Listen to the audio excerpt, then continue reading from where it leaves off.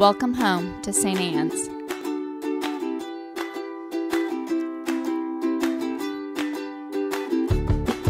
We want you to know that you're welcome to join us at 10 a.m. on Sundays. Please be sure to hit subscribe to receive our sermons. We can't wait to meet you. I am going to be incredibly vulnerable with you today, and that's not even dressed up as Miss Frizzle. Um, I have been debating whether or not to give this sermon for mm, the last 12 hours. Um, it's not the sermon that I had planned, but it's one that I think we need to hear. And it's one that I think I need to say. Um, y'all are like, she's going to quit. She's not quitting. The others are you like, darn, she's not quitting. Um, I went to diocesan convention yesterday. And um, as many of you know, I don't necessarily play well with big boys. I know that comes as a shock to many of you. Those of you for whom that's a shock, welcome to St. Anne's. It's great to have you here. We hope you love the church. Um, but uh, the bishop preached an incredibly powerful, um, heart wrenching sermon about the importance of change. In fact, we even got these little pins that say a different kind of church the Episcopal Church in West Missouri. Not cool. I mean, that's, that's a really meaningful, cool thing, I thought. Um, we even got little pins, little lapel pins that said the same thing. We're, we're a different kind of church.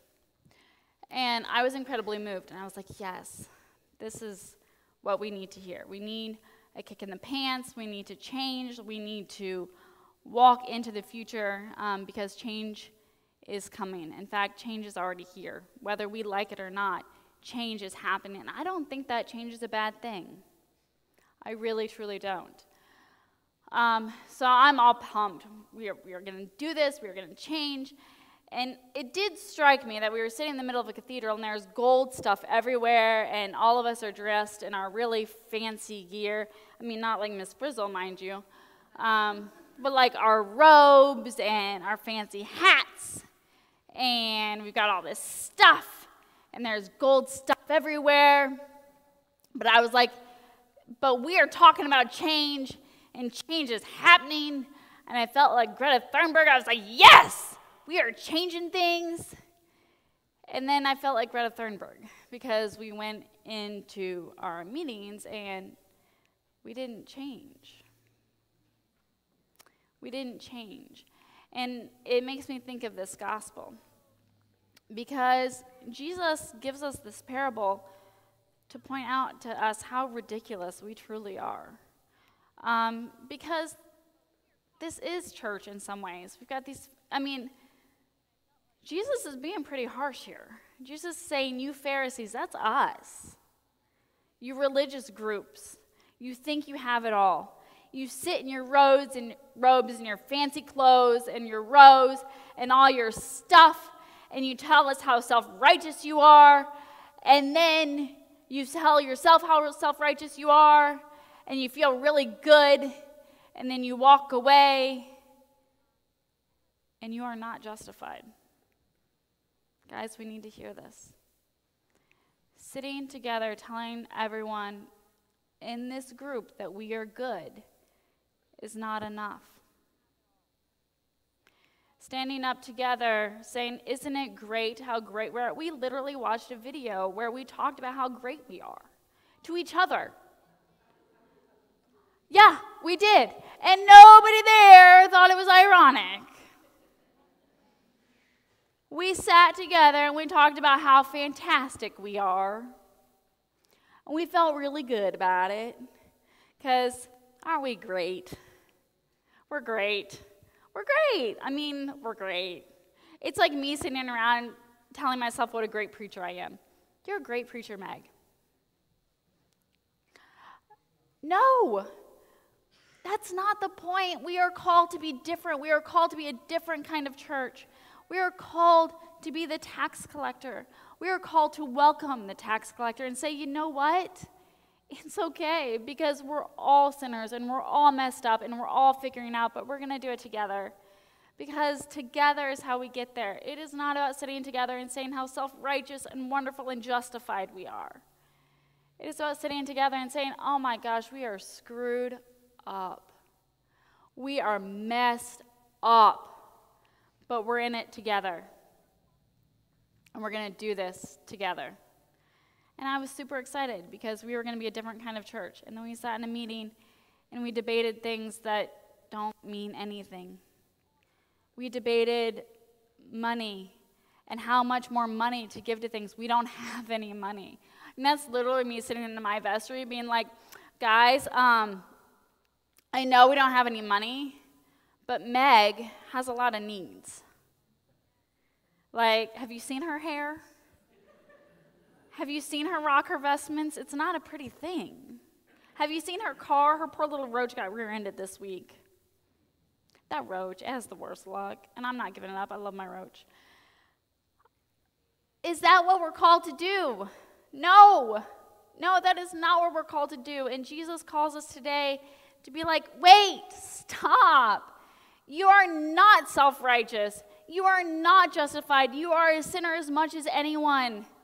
This is a hospital for sinners, not a country club for winners. I mean, I think we're all winners because I'm a school counselor and I'm like, I love you all. We're all winners. And all the teachers are like, shut up, Rhodes. Don't encourage them. And I'm like, but we're all great. No, we're not. We're messed up and we're broken. And you may have noticed that I'm dressed up as Miss Frizzle today. If you aren't familiar with that show, it's um, The Magic School Bus, which was a cartoon that first came out around the time that I was growing up. Um, there's been a reboot of it, um, which is also phenomenal. But Miss Frizzle is a science teacher. She's the teacher for this fifth grade class. I think, and like all the teachers are like, well, I wish that was my class because they've got like killer numbers. She's got like what, six kids? I mean, I'd be a great teacher too if I had six kids in my class. Um, but Ms. Frizzle is known for taking them on these crazy um, field trips to learn about things, and they're usually science based. And if you haven't watched it, watch it. It's a super fun show.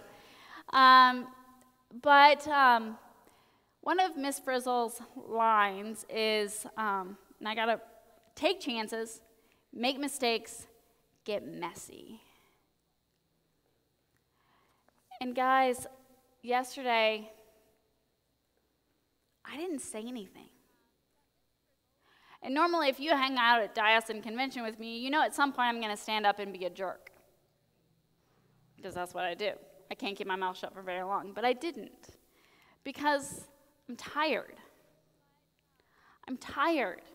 I've done this for years.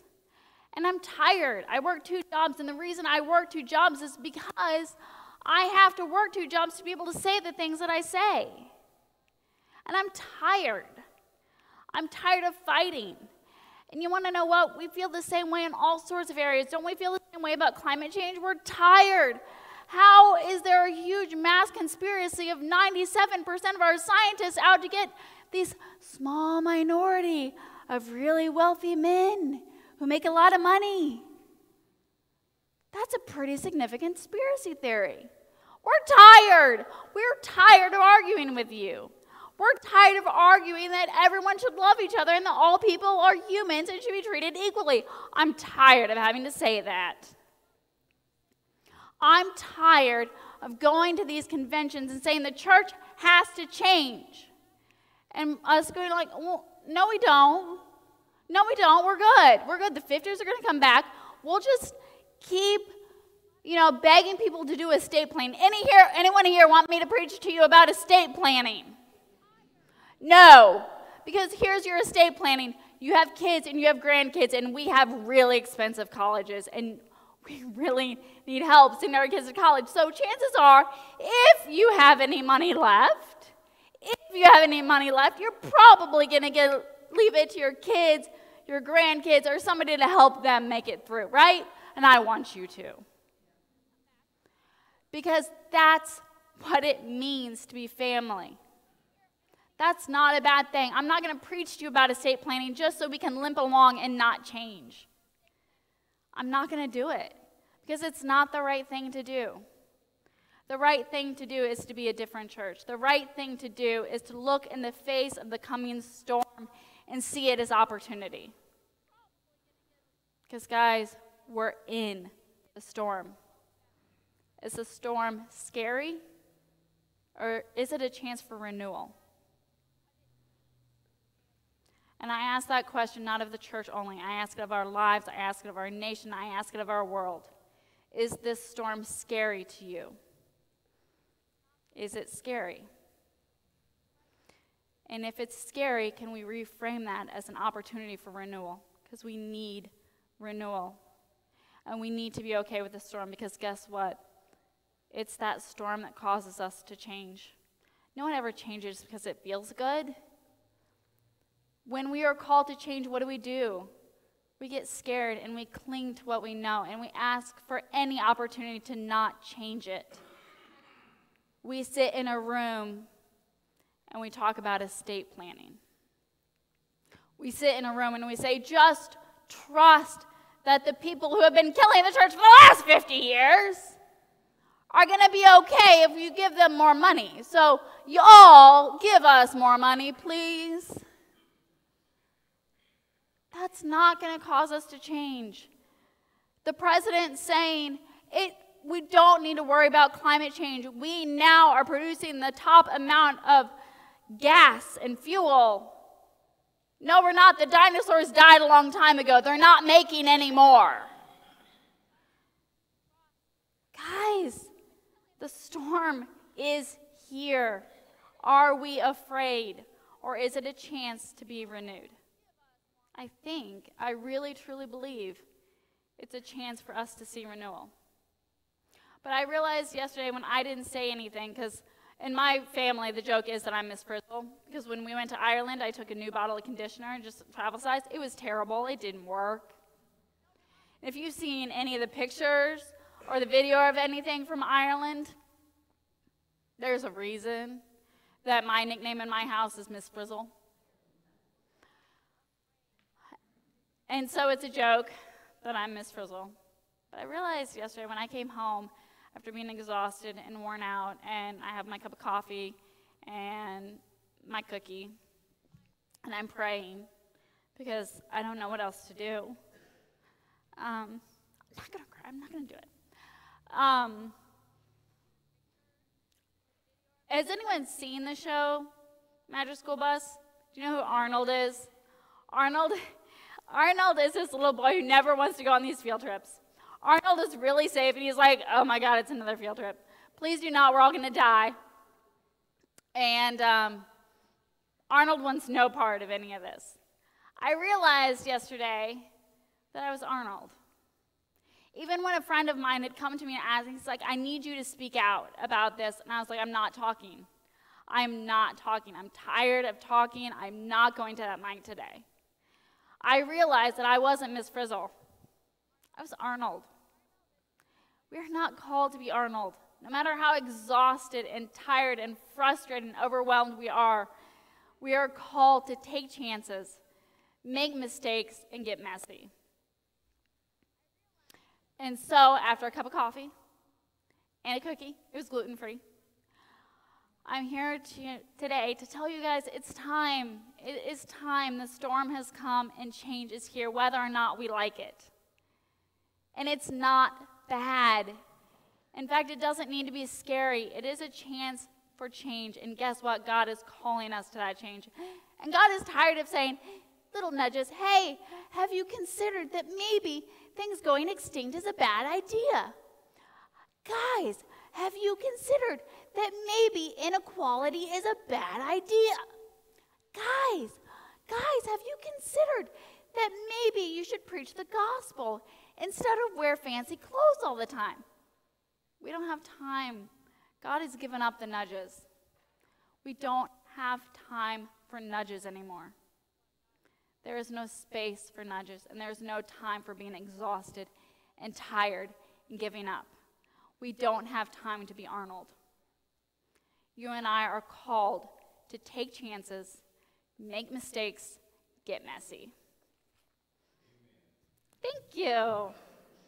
You don't get those very often in Episcopal Church. I appreciate it. We want you to know that you're welcome to join us at 10 a.m. on Sundays. Please be sure to hit subscribe to receive our sermons. We can't wait to meet you.